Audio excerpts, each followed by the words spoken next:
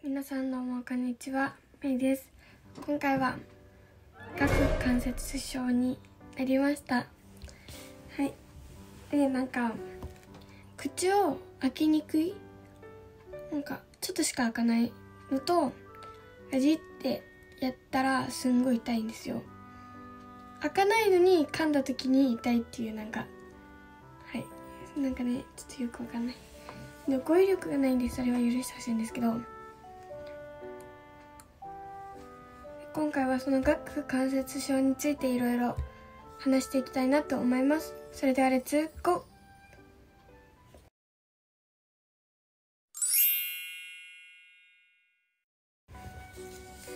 はい。えっ、とまず気をつけるといいこととやったらいけないことかなを紹介していきたいと思います。まずやったらいけないことなんですけどうやって頬杖を授業中とかねつく人いると思うんですよ。あーみたいな感じで。頬杖をついたらなりやすいらしいんですよね。はい。で次。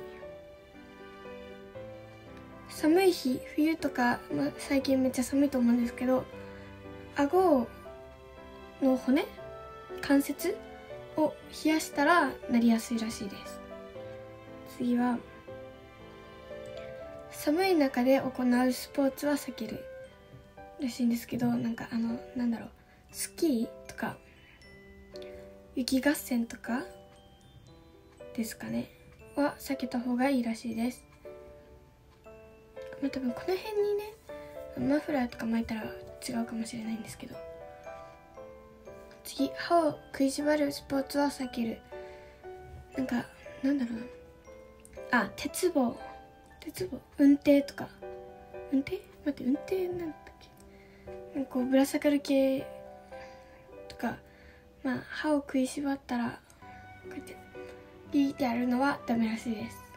もうちょっとやっちゃったんですけど。はい。次。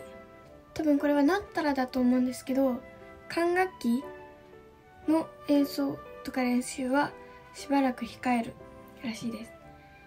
ああれか。今言ったのは全部あのなったらやめた方がいいとかも入ってると思います。なんか管楽器こうなんだろうな。私ちょっとあんまり楽器には詳しくないんですけど吹く系のあこことかふーって吹く時こことか使うらしいからそういう系の楽器は控えた方がいいらしいです。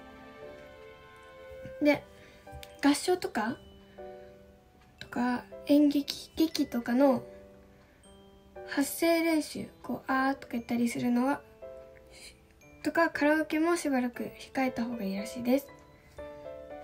こう歌ったりする時まあ口なんであごあごってあのこう開けた時とか使うし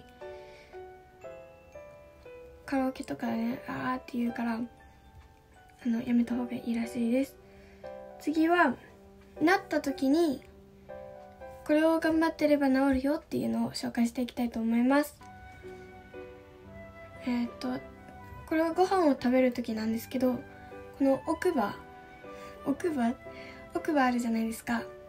この奥歯を上手に使ってなんかこの辺だけで食べるんじゃなくて奥歯を使って食べるといいらしいです。次。長時間同じ姿勢を取らないでストレッチとかを時々運動とかをやるといいらしいです、えー例えばなんだろう勉強とか。勉強するのめっちゃいいと思うんですけど長時間やってたらあれなんでたまに運動とかストレッチとかを入れるといいらしいです。あとは仰向けで寝たらいいらしいです。多分片方にこうなんだろうこうやって寝るときに片方をこうやって向いてこうやって寝るんじゃなくて両方ピシッと寝たらいいってことかなと思います。次上下の歯。上とこの上なかの歯と下の歯をあんまり接触こう何？当たらないように気をつけるといいらしいです。あれかもねこうやってガチガチ噛んだら顎が顎を使うからそれを控えるってことかな。喋る時は別にあのってガチガチしないかったら喋ってる時だってあんまり上と下の歯くっつかないっていうか「いい」とか言ったら別だけどそんなにね「に」とか言ってもあのベロがあるから大丈夫だと思うんですけど。で硬い食品食べ物は食べない。まあこれはね多分当たり前かな。アメちゃんとかも舐める分にはいいと思うんですけどガチガチ噛んだらあれかなって感じですね。とかなんだろうな。きゅうりとかも顎が痛いのにガチって丸ごと食べるのがあれかなってなんかちょっと切ってちっちゃくして食べたりと思います。次。枕はなんかこう高い枕とか硬いとか柔らかいとかいろいろあると思うんですけどなるべく低い枕を使うといいらしいです、うん、今言った中のどれか23個以上は頑張ると早く治るかなって自分でねセルフケアで治せるかなって思います。今言ったことに気をつけるといいらしいです。では今日の動画はこんな感じで終わりたいと思います。チャンネル登録とか概要欄のチェックよろしくお願いします。ではまた他の動画でお会いしましょう。バイバイ。せーのポチッ。